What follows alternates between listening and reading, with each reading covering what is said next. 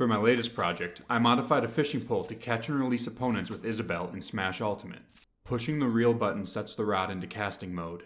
You simply flick the rod forward to cast and then back to return using the built-in accelerometer. The attached Wii nunchuck is for movement, jumping, and shielding. You can also swing the nunchuck to use items. I will link the project build video down in the description below if you would like to see more on how this controller was made. Also, stick around to the end of the video for a hint at my next controller project. My strategy is to sit on the sidelines and try to snipe unsuspecting players. The use of items will be vital for victory.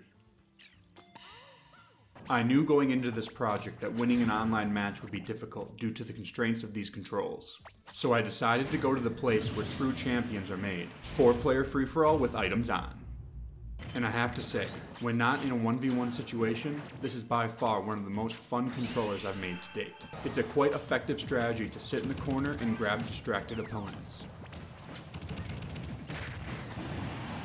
I am also the quickest to grab items off the battlefield, which only increases the chaos in a free-for-all game.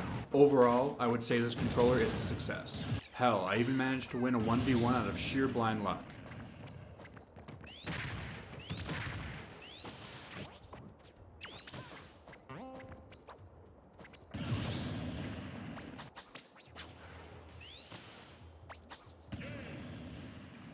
Having mastered the art of fishing, I decided to take my skills to a more competitive 2v2 arena, with the hopes of being carried by a more functional teammate.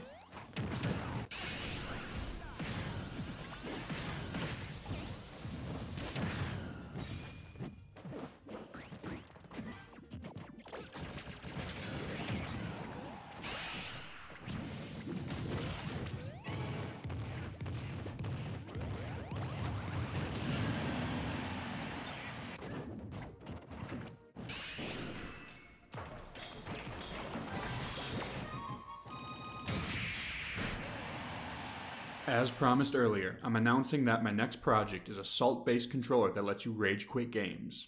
As always guys, let me know your controller ideas down in the comments below and make sure to subscribe for future projects. Thanks for watching.